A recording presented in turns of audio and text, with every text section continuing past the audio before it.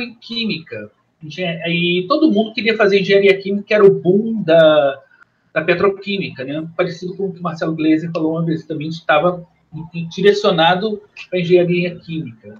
E eu me lembro, mas eu sempre quis, sempre gostei de astronomia. Então eu fui fazer lá a inscrição, cheguei na, na hora da inscrição, escrevi engenharia química e tal, e na hora de. É, peguei o papel, escrevi engenharia química, pedi para a moça, tem outro formulário? Escrevi astronomia. E passei né, no vestibular de astronomia, todo mundo achou que loucura e tal, você vai com de fome, olhando estrelas e tal. E graduei em astronomia na UFRJ, demorei bastante para me formar, foi, foi um negócio muito difícil. Eu trabalhava e estudava, e o horário da astronomia era integral, então eu tinha aula manhã, tarde e noite, eu fiz um malabarismo para me formar. Me formei, demorei bastante para me formar. Comecei a trabalhar no Museu de Astronomia com divulgação científica, né, e ao mesmo tempo em que eu trabalhava e ia terminando o meu curso, me graduei com especialização em radioastronomia. Era o equivalente hoje em dia ao TCC, meu projeto foi com radioastronomia solar. E, e vou comecei a trabalhar é, em divulgação científica no Museu de Astronomia São Cristóvão. É, com o tempo, eu entrei como nível médio, ainda não estava formado, né, não conseguia reajustar para nível superior. E assim que eu pude fazer uma prova para um, um, nível superior de astronomia foi para a Embratel, na área de controle de satélites. Eu me lembro que eu fiz a prova, tinha muita vontade de, de subir de nível, não ficar só no nível médio, né? E consegui passar, passei muito bem, foi uma coisa muito interessante para mim. Tive que largar o Museu de Astronomia um pouco de dó, porque eu gostava muito de divulgação científica, e fui trabalhar. Passei 10 anos no Museu de Astronomia, passei mais 10 anos na Embratel controlando satélites é, trabalhar com o controle dos, dos satélites geoestacionários brasileiros, BrasilSat, os primeiros satélites geoestacionários brasileiros. É, depois dos 10 anos lá no, na, na Embratel, me deu uma louca. Eu, gostei, eu quis voltar para a divulgação científica, fiz prova para, para o Planetário do Rio de Janeiro, onde hoje eu trabalho. Nessa época, durante essa transição, eu fiz a minha pós-graduação, mestrado, em ensino, é, gestão e difusão é, de, ciências na Universidade Federal do Rio de Janeiro, no Instituto de Bio, Ciências Biomédicas, né, que tinha uma possibilidade de, bem ampla de formação na área de divulgação científica. O mestrado, então, foi especificamente sobre é, duas coisas que eu adoro: internet e planetário. Eu fiz um trabalho sobre a webometria, que é uma medida de como funcionam né, os sites, como é que a, a visibilidade dos sites de planetários do mundo. O trabalho envolveu umas 1.500 planetários do mundo, a gente traçou alguns trabalhos sobre isso. E atualmente eu trabalho essencialmente, não faço mais pesquisa, eu trabalho mais na linha de frente da divulgação científica, no, no Planetário do Rio de Janeiro, onde a gente dá cursos, dá palestras, é, planeja exposições, visita escolas, observa o céu, e atualmente, com essa quarentena, a gente está divulgando nosso material virtualmente no canal do YouTube do Planetário. Perfeito. E é, você faz divulgação científica, você vai a vários eventos de divulgação científica. O que, que as pessoas mais é, possuem dúvida? Tem alguma pergunta, alguma questão que é mais frequente quando você está nesses eventos de divulgação científica? Os eventos, é, eu, eu, eu, sou um dos fundadores do Encontro Nacional de Astronomia, o ENAST, que já está agora na sua vigésima segunda edição. E o público que a gente recebe lá geralmente são astrônomos amadores, estudantes de astronomia, alguns pesquisadores que gostam de divulgação. Então as perguntas são muito setorizadas, é uma pergunta de nicho são coisas, questões de nicho. As questões que a gente discute geralmente são as questões da divulgação científica. Uma das discussões mais é, polêmicas que eu vejo na área de divulgação científica é a questão da Terra plana. Claro que ninguém acredita nessa bobagem, mas como fazer para lidar com essa bobagem? Algumas pessoas acham que o melhor é ignorar, deixa para lá, não vamos dar é, visibilidade para esse tipo de porque as pessoas que, que, que, lidam com isso gostam de aparecer, querem mídia, querem holofote. Então, os colegas acham que deve ser ignorado.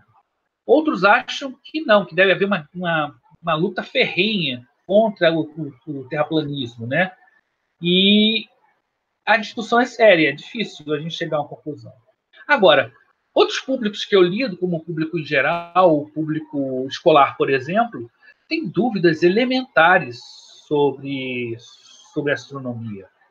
As pessoas, por exemplo, acreditam que o homem já foi a vários planetas. Não sabem que o homem nunca foi a nenhum planeta, que só foi até a Lua. Inclusive, tem gente que desconfia que o homem foi à Lua, e tem toda essa discussão também. Nós enfrentamos hoje uma crise de veracidade, né? a tal da. São as fake news que vêm com um peso muito grande, a pós-verdade, tudo é discutido, sempre tem espaço para uma teoria da conspiração para poder desacreditar a ciência. Então, nós que lidamos com divulgação científica diariamente, a gente tem sempre que enfrentar essa desconfiança que as pessoas têm da ciência, considerando a ciência como se fosse algo é, que não merece confiança, porque existem forças ideológicas, políticas, religiosas, sociais, econômicas, até que tem interesse de que a ciência seja considerada uma coisa estranha, né? Isso me lembra muitas coisas de ficção científica. Aproveitando, já falando de divulgação científica, temos a pergunta do Cláudio Barroso. Ele gostaria de saber, por exemplo, quais dados verdadeiramente científicos são utilizados na minissérie Salvation. Ele gostaria de saber se você conhece porque ele gostaria de saber se poderiam ou não ser explorados na realidade essas ideias que é aplicada nessa minissérie Salvation, que fala sobre uma possível colisão de asteroides. Sim. Eu vi um episódio de Salvation e não aguentei ver o resto. Desculpa, eu não gostei. não gostei, achei. Não, não, me entusiasmei de continuar assistindo. A, a questão da colisão de asteroides é uma questão possível, né? É uma coisa possível não provável. Ou seja, o que é uma coisa possível e não provável? É, é uma coisa que não é, é, Por exemplo, a possibilidade de você agora sair ali fora e cair um piano na sua cabeça não é zero. Mas provavelmente, se você mora numa região onde não tem nenhum é, lugar alto, onde tem uma escola de música que alguém vai jogar um, um piano em cima da sua cabeça, as chances disso acontecer é quase nenhuma. Né? Pois é. O que acontece com a gente é exatamente isso. A gente tem muito, muito poucos corpos celestes hoje em dia é, capazes de produzir um impacto muito grande na Terra. No passado, no início da formação do sistema solar, havia muitos, é, vamos dizer assim, escória estelar, né? material que sobrou da formação do sistema solar, do sistema solar e que foi colidindo. A gente tem até uma, uma, uma época em que a astronomia a gente estuda, que é a chamada a era do grande bombardeamento, onde houve grandes impactos e a maior parte das crateras que a gente vê nos corpos celestes, na Lua e em outros satélites, outros planetas, vieram dessa época. É como se esse material todo que tivesse ali no, no espaço tivesse sido varrido pelos grandes planetas. Então, a chance de ter ainda material com chance de colidir com a Terra é menor. Existem vários. Entre a Marte e Júpiter, por exemplo, no cinturão principal de asteroides, existem mais de 10 mil asteroides. A chance de um deles atingir a Terra não é zero, mas também é muito pequena. Tá? até hoje não se, não se mediu nenhum asteroide em rota de colisão com a Terra. Tá? Corpos menores, do tipo o que atingiu Chelyabinsk, por exemplo, podem acontecer. Chelyabinsk foi um corpo de alguns metros, não chegava a quilômetros. Causou um, algum estrago local, mas estragos localizados, a chance de uma cidade ser atingida por um corpo desse não é zero e é, não é tão raro assim. Isso, o que aconteceu com Chelyabinsk, não me lembro a época mais ou menos, mas foi uma coisa. O, o corpo veio de uma direção onde a gente quase não pode apontar telescópios, que é a direção do Sol. Né? Existe hoje em dia todo uma, um, um grupo de observação, de vigilância celeste acompanhando corpos é, que possam ter rota de colisão com a Terra. A chance de impactos grandes é muito pequena. Salvation, eu acho que eu deletei da minha cabeça. Eu, tem um impacto de corpo, né? E tem tudo. Eu acho que é um assunto tão, acho meio batido, meio antigo na ficção científica. Existem tantos filmes, tantas séries que falam sobre isso, que eu não senti muita novidade em Salvation. Aí eu acho que eu, por isso que eu não me interessei. Existe um filme clássico chamado Meteoro, com Sean Connery, em que eles tentam abater os, os meteoros com mísseis em órbita da Terra coisa de Guerra Fria. Tem outros, é, tem um impacto profundo, tem que surgiu na mesma época que Impacto Profundo e Armagedon. Os dois filmes nasceram na mesma época, tinha uma discussão muito grande. Com o fim da Guerra Fria, sobrou muito material nuclear que o pessoal não ia jogar na cabeça dos outros, pelo menos não ao princípio. Então, o que vamos fazer com esse material nuclear todo, esse investimento todo da público? Ah, vamos usar para enfrentar a ameaça dos asteroides. Sabe, esses assuntos voltam com uma frequência e geralmente estão ligados a questões não nada científicas. Ou seja, a possibilidade existe, é pequena, e também não é, acho que não é tão difícil assim se você conseguir localizar os asteroides a distância. As mudanças de órbita geralmente são muito pequenas, porque a chance que dois corpos no, no sistema solar se encontrem é muito pequena. Você imaginar que o sistema solar fosse uma sala, a sala do seu quarto onde você está, e se a, o Sol fosse do tamanho de uma bolinha de ping-pong, e a, a, Terra seria mais ou menos do tamanho de uma cabeça de um alfinete grande. Estaria mais ou menos afastado quase na parede. E um asteroide, para atingir esse corpo, que é bem menor, seria o tamanho de uma meba, a chance desses corpos atingirem um ao outro no espaço é muito grande, porque as distâncias são muito grandes. Então tem, é, muito, é muito difícil que esses dois corpos se encontrem né, no espaço. Se houvesse uma quantidade muito grande de corpos celestes entre o tipo de cinturão de asteroides, possivelmente poderia acontecer um impacto. Mas nessa região da, da Terra, que já estão sendo mapeados pelos chamados os NEOs, né, Near Earth Objects, que tem ao redor da Terra, eles já estão sendo mapeados. A chance não se encontrou nada ainda que passe tão perto, que seja tão grande. Então, a série realmente, eu não sei porque eu não gostei tanto. Eu não sei, não sei se por causa da, da falta de originalidade, não sei se porque os atores não eram essas coisas. Eu não sei, eu não me salvei. Vou dar uma outra chance a salvar. É uma concatenação de vários fatores. É, talvez, talvez. É tipo uma série também que é, ou você detesta ou você adora. Que tem uma série nova agora, não sei se você também viu, que é A Outra Vida. Não vi ainda. Não vi ainda A Outra Vida. Sabe o que, que é? Tem tantas séries boas e eu tenho tão pouco tempo para ver atualmente que eu não consigo mais atualizar. Eu estou vendo Star Trek Picard. o filé mignon. Não vou procurar é, bife de fígado. tem, tem outras séries que eu não gosto só de ficção científica, gosto de histórias fantásticas também. Então, eu, eu vi Expense, que é legal também, não vi muito também. Tem outras séries, então. Eu, eu, às vezes, eu, eu, nessa quarentena que acabei tendo mais tempo de ver séries, eu fiz uma coisa. Eu, voltei, eu fui ver séries que eu já gostava, de uhum. novo. Né? As séries novas. É, tem muitas séries novas que têm oferecido pouca coisa nova mesmo.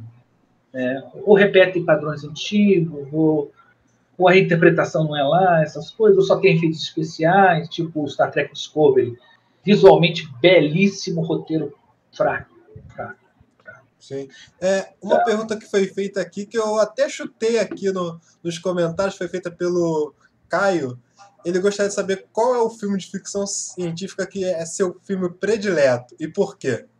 Longa-metragem? Acredito que sim. Caramba, difícil isso, hein? Porque eu gosto de tantos. Aí, 2010. Não, 2001 é bacana, mas muito metafísico, meu gosto. 2010, que é a continuação da história de 2001, eu acho uma das histórias mais legais de, de espaciais tem muito filme de ficção científica bom, né? Ai, errei. Claro que. Hã? Eu errei. Você errou? Pessoa Star Trek. Não, eu pensei que de filme de ficção científica seria ou Andrômeda ou Contato. Andrômeda? Enigma de Andrômeda? Enigma de Andrômeda. Enigma de Andrômeda é um excelente filme. Mas é, é, ele é meio deprimente, sei lá, é meio claustrofóbico. É, é, é, um filme bom, excelente, mas preferido mesmo eu gosto de 2010. É, qual outro falou? Contato. Contato é excelente também. Nossa, é muito bom também. É difícil. Se eu botar 2010 e contato na minha frente, fica difícil escolher qual o melhor.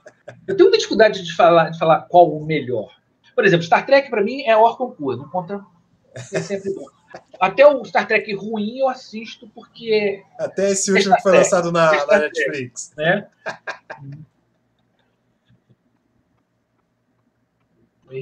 Até o último que foi lançado agora na Netflix. O último que foi lançado na Netflix é o Discovery. Isso. Até aquele eu assisti. É tipo assim, é, é, é bonito visualmente, né? tem umas coisas bonitas, um episódio ou outro que parece Star Trek de verdade.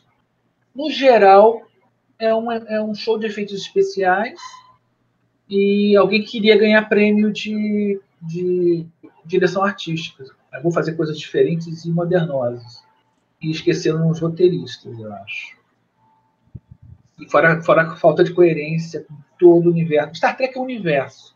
Né? E a maior parte das histórias são compatíveis. Né?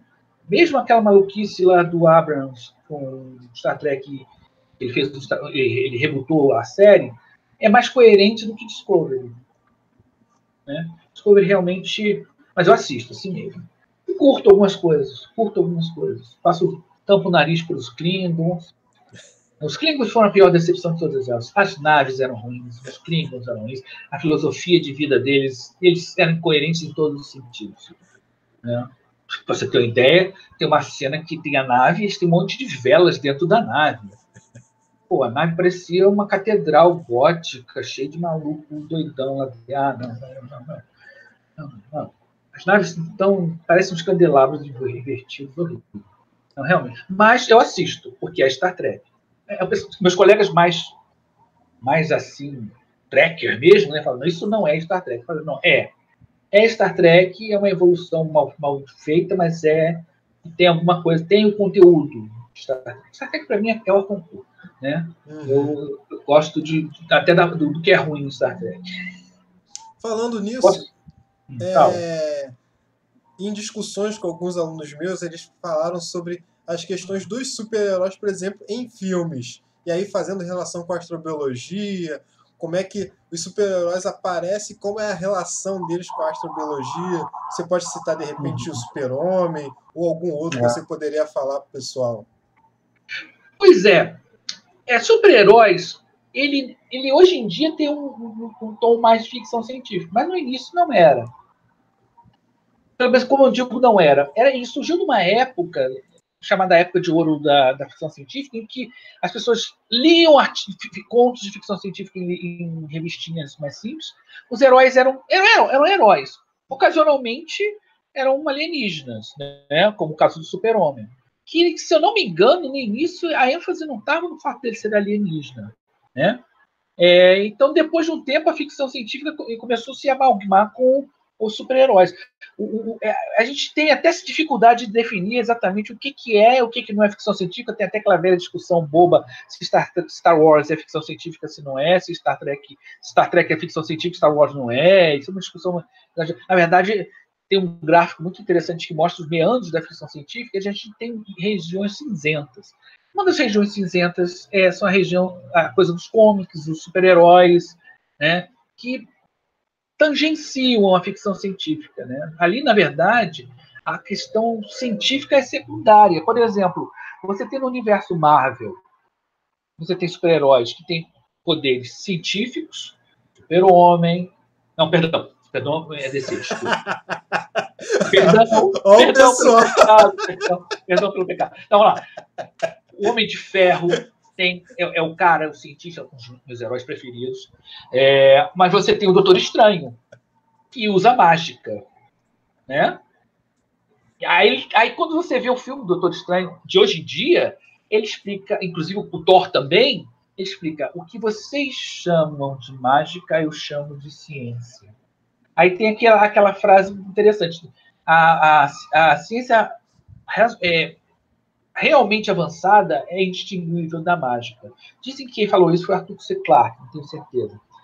Então, quer dizer, a, a coisa da. É, antigamente não tinha importância. Ele tinha o poder de fazer não sei o quê. O herói tinha o poder de fazer não sei o que era. Se era científico ou não, isso ao longo do tempo foi mudando.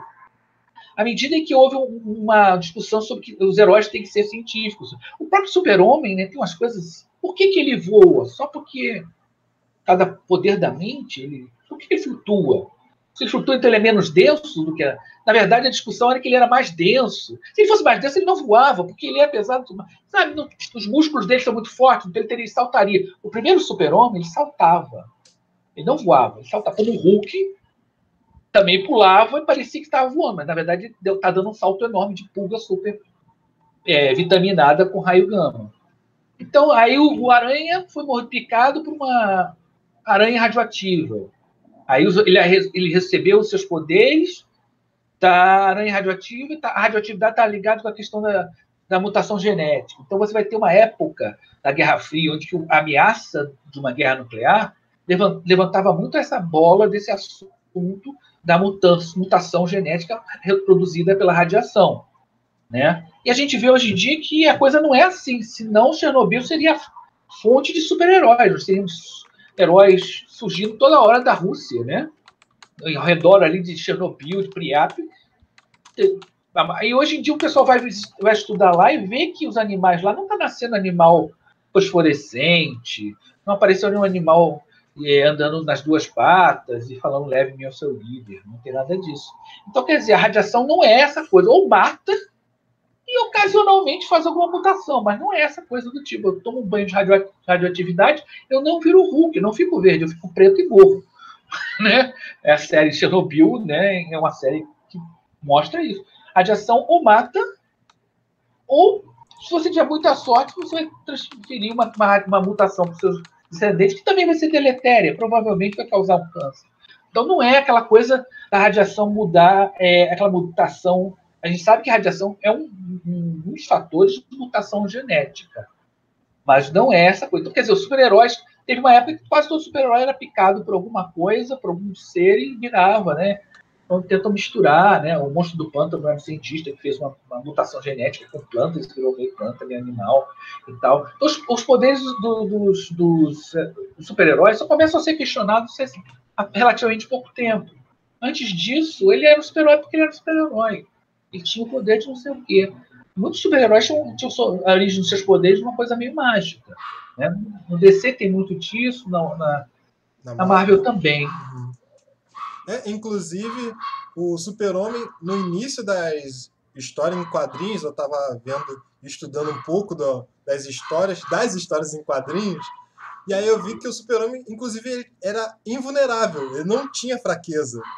Foi só depois de alguns quadrinhos à frente que foi feita uma reedition, e aí foi colocado a Kryptonita, que inclusive era uma única Kryptonita verde, que não tinha assim uma história por que ela existia. Não sei se tu sabe dessa história. Sim.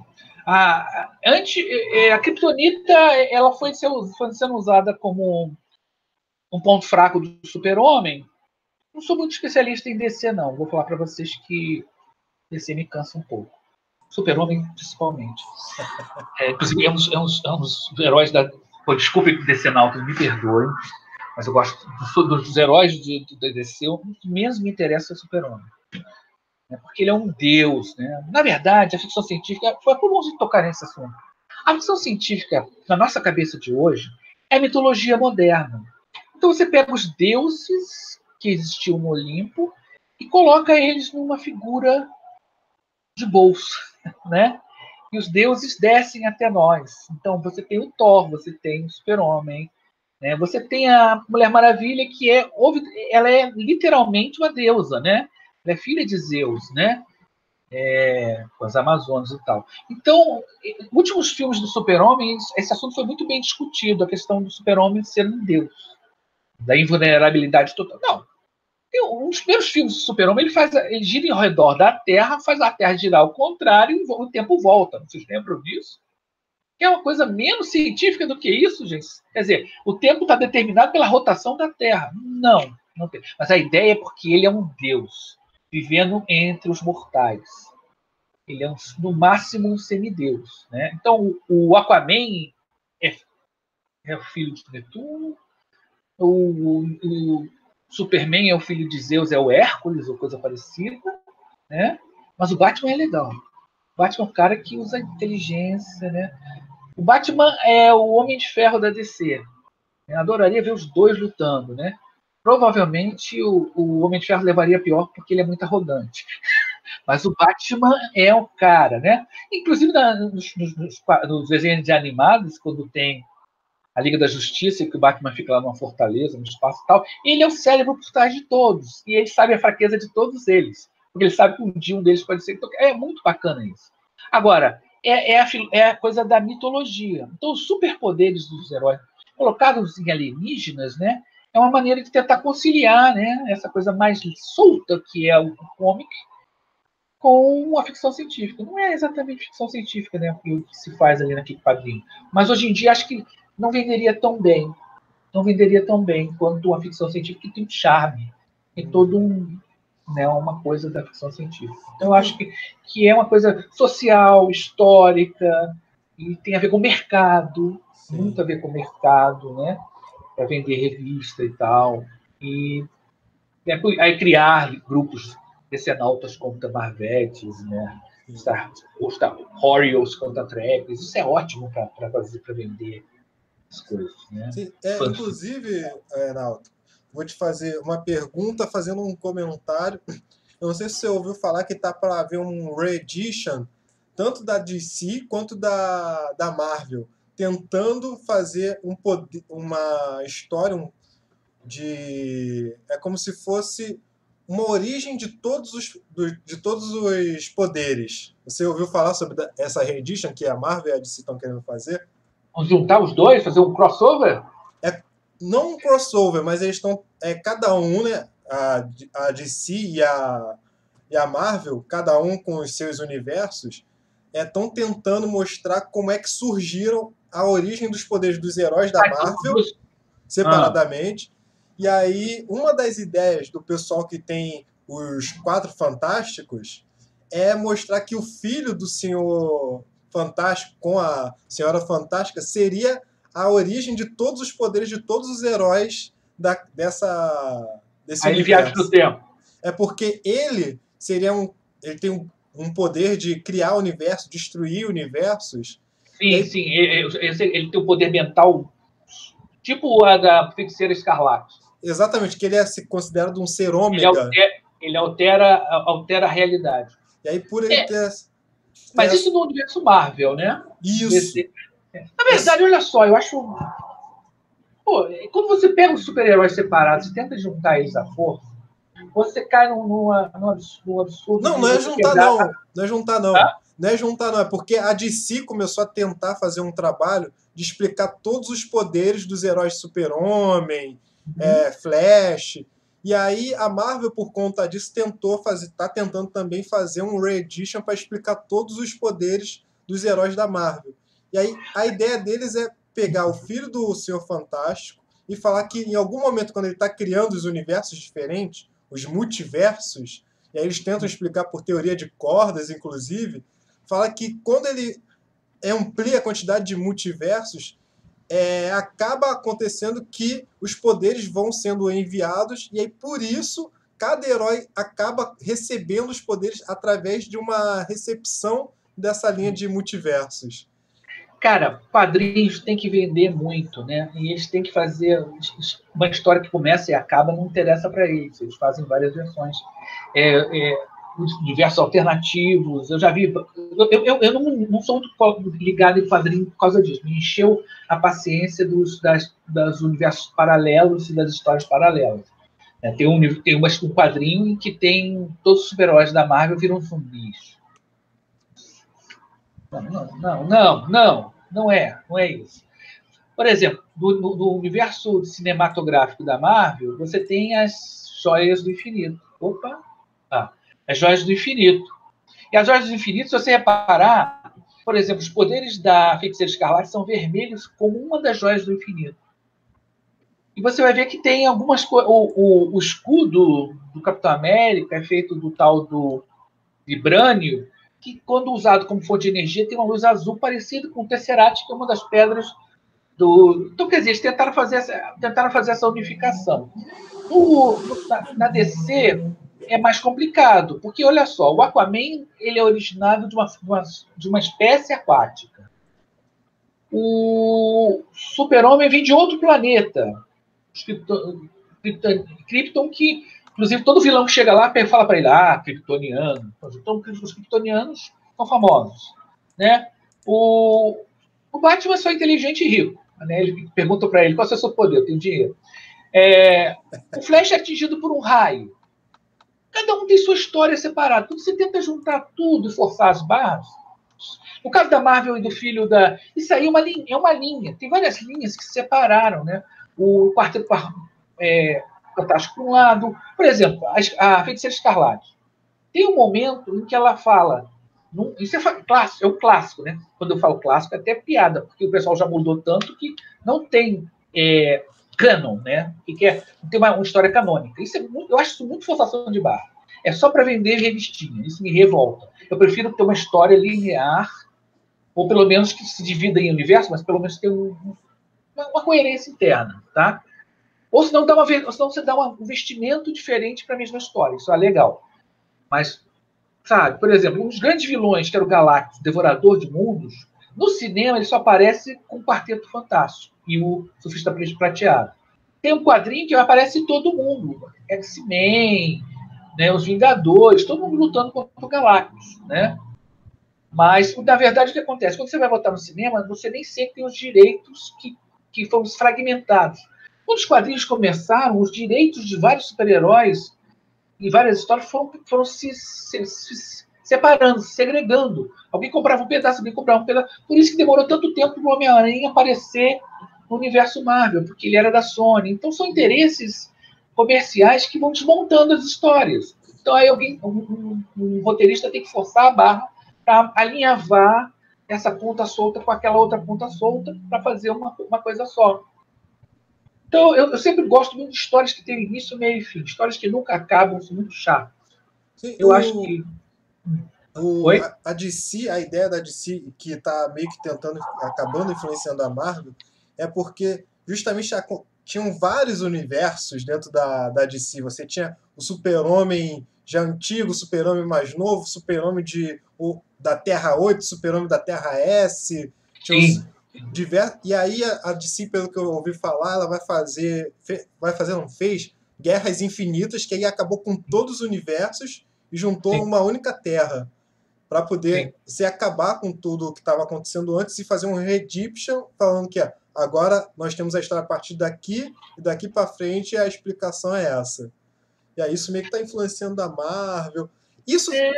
só para te fazer essa pergunta, isso tem a ver com aquela questão que você fala muito sobre é, as diferentes tipos de ficção científica, aquela de ficção científica mais hard, ficção Sim. científica mais soft. Talvez uhum. essa era de informação que nós temos, em que a ciência e a informação está vindo com muita grande quantidade para o pessoal, o pessoal de desenho quadrinho está se sentindo necessário fazer esses redemptions? Uhum. Eu, eu, eu, acho que, que é um interesse comercial, essencialmente um interesse comercial. Essa bagunça toda que tem nessas histórias é, é uma questão de, de, mercado, o que vende e o que não vende. Por exemplo, é, por que é, se fez é, um restart de Star Trek? Star Trek, por exemplo, hoje em dia está na mão de duas produtoras, a Paramount e a CBS. A Paramount tem os direitos do cinema, a CBS tem os direitos da TV. E elas não trabalham juntos.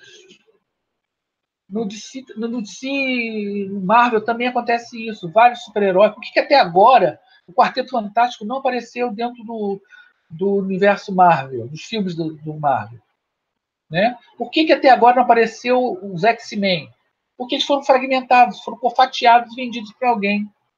Por que os X-Men têm um universo separado do resto do, do, universo Marvel? E às vezes, ocasionalmente, se encontram. Ocasionalmente se encontram. Quer ver um ponto de contato entre os dois que fica esquisitíssimo? O Mercúrio. O Mercúrio que aparece no, no filme, no, é, quando tem é, Era de Ultron, quando o Mercúrio morre, que tal, ele é irmão da, irmão da, da feiticeira Escarlate o Mercúrio aparece no universo X-Men, dos X-Men.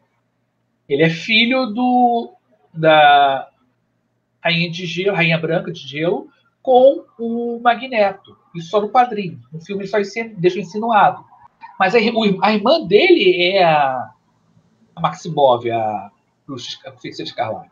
Mas eles não, eles não vão linkar isso enquanto não resolverem problemas econômicos. Quem ganha o quê, quem tem direito de quê. Aí a, a, a, o contexto vai depender do. É, é, é ficção científica. Não, vou, não mais que isso, ficção em geral. Produção cultural ela está muito ligada a interesses mercadológicos.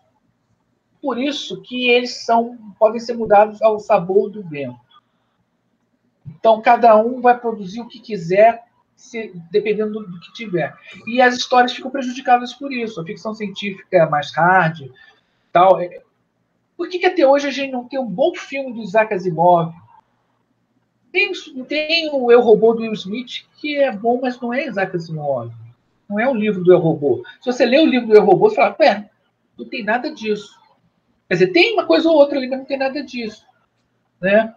Por que, que você não tem é, bons. Eu, eu, eu, lia muito uma revista chamada Isaac Asimov Magazine, que não existe mais. Era uma revista um papel bem vagabundo mesmo, chama Pulp, né? Que tinha uns contos excelentes. Eu sonho ver esses contos transformados em filmes. Mas são histórias pontuais. Tipo assim, antigamente tinha algumas séries que tinham histórias pontuais, como é, Além da Imaginação, é, Quinta Dimensão. Além da Imaginação voltou há pouco tempo e o, um herdeiro da, quinta, da, da Além da Imaginação, que fez muito sucesso agora, é o Black Mirror. Black Mirror é uma ficção científica de altíssima qualidade, né? porque cada história é isolada, apesar de ter pontos de contato. E tem na, em Black Mirror, a história, o, o, roteiro é muito importante, é vital, e discussões muito fortes. Tanto que o primeiro Black Mirror foi uma coisa que não tinha muito a ver com ficção científica, mas ele veio para chocar, tipo assim, olha, não espere nada convencional da gente. Eles, eles conseguiram cumprir isso por muito tempo. Black Mirror atualmente é uma ficção científica que eu gosto, porque tem episódios isolados, apesar de ligeiramente é, conectados, né? que discutem grandes temas. E não um cara que tem superpoderes. O superpoder do cara para lutar contra os bandidos. Né? O, super-homem vai lutar com um ladrão de banco. Né? Ladrão de banco. Se eu tivesse o poder do super-homem, eu ia atrás de corrupto, político corrupto. Poxa, você, sabe, pegava a prova, denunciava todos os políticos corruptos, desde o bandido, o ladrão de banco para lá, cara. Raia miúda, sabe? derrubava todas as ditaduras do mundo, ia lá. Sabe? Eu lembro de um ditador famoso no meu tempo, no tempo de vocês, você não deve lembrar a história, que era o Idi Amin Dada. Era um carrasco, era um homem, era um monstro. E era o tempo do super-homem. O super-homem vai lá e pega o Idi Amin Dada e leva para o raio que parta. Oh, mas para não matar. Para não matar. Um... Né? O, o, Batman, com seus poderes maravilhosos. Por que, que, ele não identifica quem faz fake news e, e Acaba com os caras. Por que não identifica o cara que faz vírus no computador e acaba com eles? Sabe? Ah, não, continua lutando contra o bandido ou contra o vilão. Interessante que o bandido é, é, é aquele perigo comum. No Batman tem muito disso. Né? Ele começa lutando com o batedor de carteira. Mas depois de um tempo, isso não é suficiente. Aí começam a surgir os vilões mais complicados. Eu acho isso ótimo. Eu, eu fico, acho muito interessante como as pessoas que admiram o Batman não percebem que o Batman é louco. Ele é doidinho da cabeça. Ele é um psicopata. Ah, mas o psicopata do bem. Não, ele é tão doido quanto o Coringa. Ele criou o Coringa. Ele criou todos os outros vilões. E nos filmes, tem os filmes bons do Batman, do Batman Begins, isso fica muito claro. Quando ele invade Arkham, né? E ele, quando ele, ele cria uma confusão lá, e gás, espalha e tudo, e os vilões começam a surgir. Aí, começa, aí tem uma escalada. No final do último filme de Batman Begins, para mim, tem a essência de, de Batman. Que é ele falando: agora nós tínhamos armas, agora os bandidos passam a usar armas automáticas. Agora eles têm colete de Kevlar, eles estão usando bala de urânio, não sei o quê. É a escalada da violência, do, da vilania. Aí surgem os vilões específicos, né? que são caras loucos, todos eles, o Batman é louco. É, o Coringa fala para ele várias vezes: você é igual a mim. E é verdade dois são doidos, são doidos varridos. Só que um, um, é um é maluco beleza e o outro é maluco, maluco mesmo. Né? o Coringa, o último Coringa é sensacional, cara. O último Coringa é um filmaço. Não é ficção científica, né? Uhum. Mas não é. Mas a Gotham City de, do Batman é uma coisa meio ficção científica, porque é, é, é como, a, como a, a situação urbana extrapola os seus. É, é uma espécie de previsão do futuro de uma distopia, né? A distopia é outra coisa muito bacana da ficção científica, né? E, na verdade, a ficção científica é sempre um espelho do que você está vivendo agora. Então, você coloca no alienígena malvado as coisas que você não gosta. Star Trek tinha muito disso. Eles criavam personagens, é, raças, a partir de uma característica humana. E oh. a característica humana extrapola e cria uma raça inteira de pessoas gananciosas. Naelton, só para pegar fala. o gancho dessa, dessa sua colocação, que já que você está falando de StarCraft, que a gente só tem é. mais 5, 7 minutos de live. Okay. Você falou sobre StarCraft, tem uma pergunta do Gabriel Von Martins, vou pegar esse gancho. Ele gostaria de Sim. saber se a Kerrigan é humana ou Zerg. Kerrigan é humana ou Zerg? Isso. Não tem o que você tá falando. Kerrigan? Humana? Zerg? Então, é. Star Trek. Ah, não, é, perdão, é StarCraft. StarCraft? Não, não, não, não falei StarCraft. StarCraft. Eu, eu que errei, foi, foi erro meu. É... não, não, não, é Star Trek. É, StarCraft eu nem conheço. Ah. Não conheço. É, é, uma pergunta. É, a gente está falando sobre ficção científica. Você pode falar para o pessoal é, as diferentes, os diferentes tipos de ficção científica antes da gente terminar e aproveitando quando você estiver comentando sobre os diferentes tipos de ficção científica, comentar um pouco rapidinho sobre a série Marte para o pessoal. Série Marte? Isso, da Aquela da National Geographic. Isso.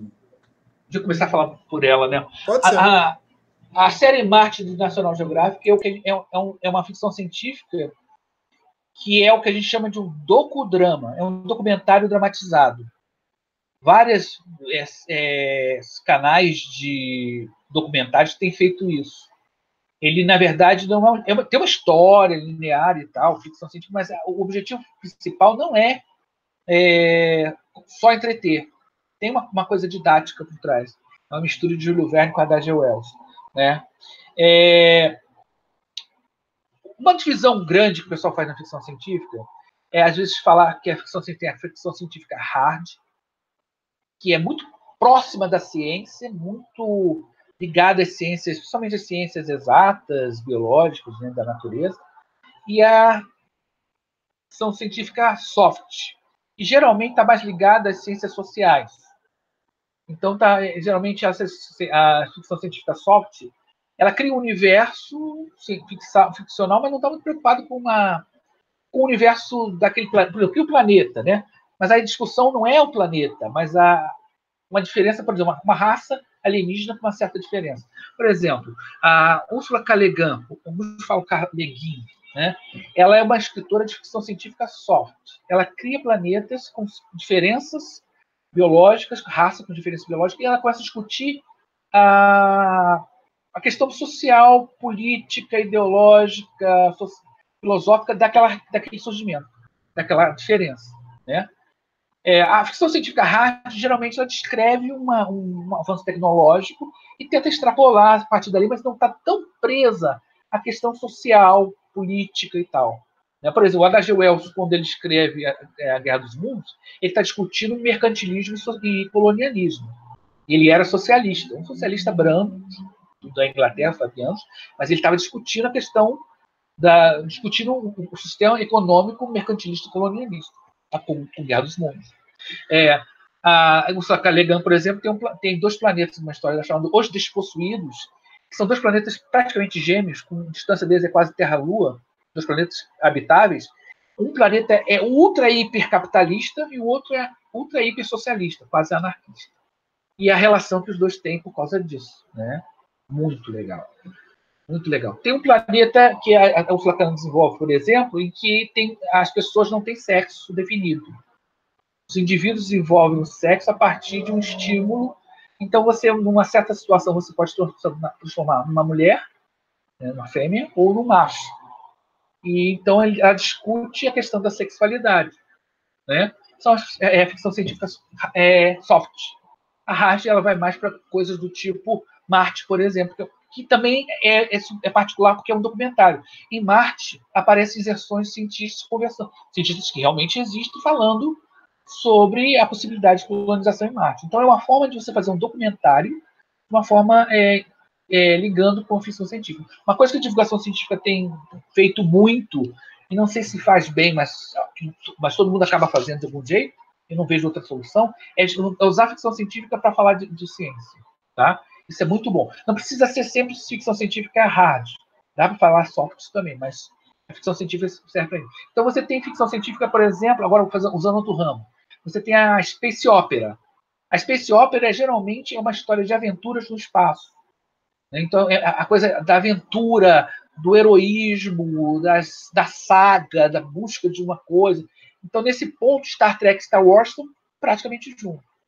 Apesar que tem gente que usa o termo space opera como, uma, como um termo depreciativo. Mas aí é pura discussão ideológica. Você tem a ficção científica que é de história alternativa, que prevê o, o, como seria o mundo se alguma coisa mudasse. E o melhor exemplo que eu dou isso que, tá em, você pode ver hoje é, sendo é, exibido é O Homem do Castelo Alto, The, High, The Man on High Castle, do Philip K. Dick. Como seria o, o mundo se a Segunda Guerra Mundial fosse vencida pelos alemães e os japoneses?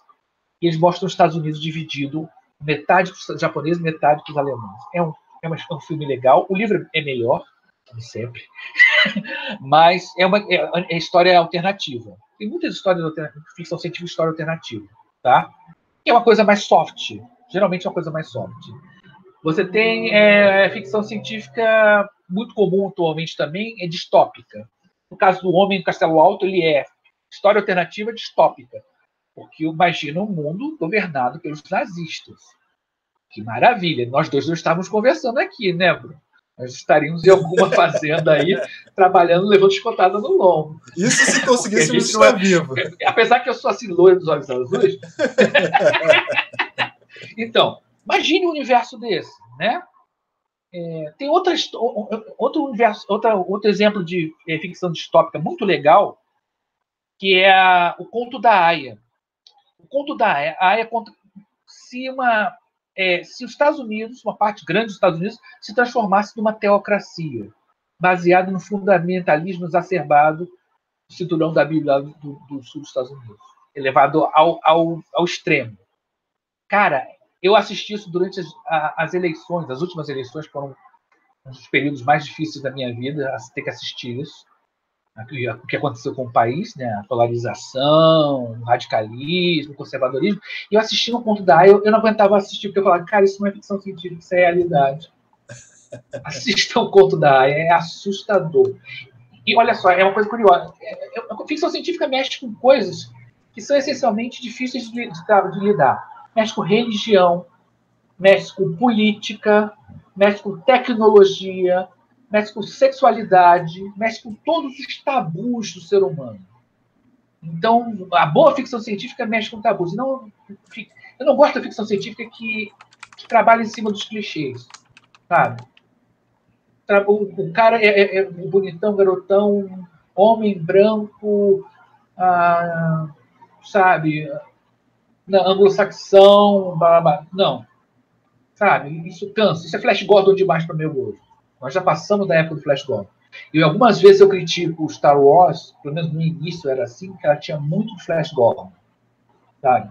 Por isso que eu não classifico, algumas pessoas discutem que não é ficção científica, por causa disso. Porque é muito Flash Gordon, é muito o homem branco tal. Às vezes, apesar de aparecer homens negros e tal, personagens negros e tal, mas em personagens tem muita aquela coisa do. Primeiro, o primeiro Star Wars era muito assim. Claro que tinha os vilões fascistas, né? Os vilões, a, a roupa do, do, Império é totalmente baseada no, no, nos, nos, nazistas, né? O capacetão lá do, do, do, Darth Vader é nazista. Mas uma coisa que me assusta muito, os fãs de Star, de, de Star Wars, todos, quase todos, idolatram o vilão. Temos que lembrar o tempo todo que Darth Vader era genocida, matou criancinhas, torturou a filha, sem saber que era filho, se não fosse a filha podia. Então, ele, além disso, é, defende a família, né? Parecendo Tradicional família do Dark Side. É, é a família, a, Star Wars é, é, é, a saga da família Skywalker. É uma novela no espaço. Né? Agora, idolatrar o Darth Vader, todo mundo curte o Darth Vader. Ele é um vilão muito, muito ruim. Ele exterminou espécies inteiras matou criancinhas, matou, acabou com um planeta inteiro por capricho, né? Ele é mal, não é para ser idolatrado, sabe? E as pessoas adoram se vestir, respirar, oh, e botar roupa preta, botar um fraçado vermelho.